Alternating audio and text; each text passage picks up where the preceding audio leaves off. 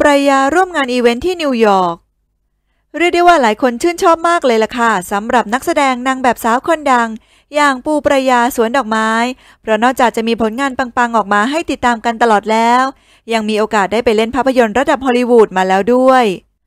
ล่าสุดในฐานะ Friend of the House ของแบรนด์ดังระดับโลกอย่าง Tiffany Co ปูก็ได้เข้าร่วมงาน Tiffany Landmark Opening ที่นิวยอร์กประเทศสหรัฐอเมริกา โดยเจ้าตัวก็ได้ออกมาแชร์ภาพบรรยากาศภายในงานให้ได้ติดตามกัน ซึ่งก็มีช็อตที่ถ่ายรูปกระทบไหล่กับพระเอกซุปตาไทย อย่างวินเมธวินโอภาสเอี่ยมขจร จากซีรีส์เรื่องดังอย่าง F4 Thailand หัวใจรักสี่ดวงดาว พร้อมแคปชั่นว่า Dinner with a bit of home PS Fast BFF ท่ามกลางแฟนๆ ที่เข้ามาคอมเมนต์สนั่นเลยว่า ฝากเอ็นดูน้องวินด้วยค่ะ Gorgeous people หล่อและสวยมากเลยค่ะ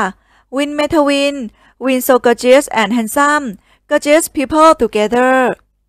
งานนี้ก็ทำแฟนๆเข้ามากดไลค์และคอมเมนต์สนั่นเลยละค่ะ เพราะสองซุปตาของเราสวยหล่อแพ็คคู่ และแม้สาวปูจะโกอินเตอร์และทำงานที่ต่างประเทศเป็นหลักแล้ว แต่ก็ยังมีมิตรภาพดีๆ ให้กับพี่น้องคนบันเทิงของไทยเหมือนเดิม เอาเป็นว่าแฟนๆ คนไหนที่ชื่นชอบ และอยากติดตามสาวคนนี้ ก็สามารถเข้าไปติดตามที่ Instagram ประยาลุนเบิร์กกันได้เลย